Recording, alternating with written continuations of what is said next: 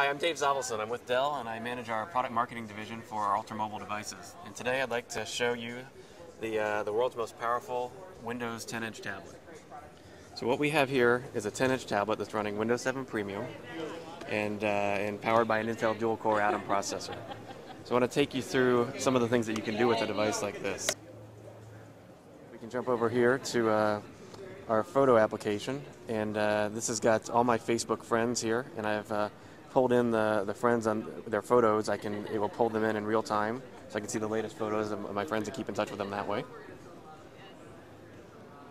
And then we've also got a, uh, an application here that uh, where I've download a, downloaded a bunch of movies here and uh, you can go into this has been pre-downloaded so we can launch this uh, high definition movie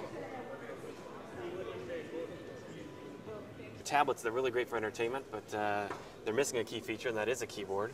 So that's why we have this uh, unique hinge that allows us to seamlessly and fluidly move between uh, mobile computing experience and entertainment experience.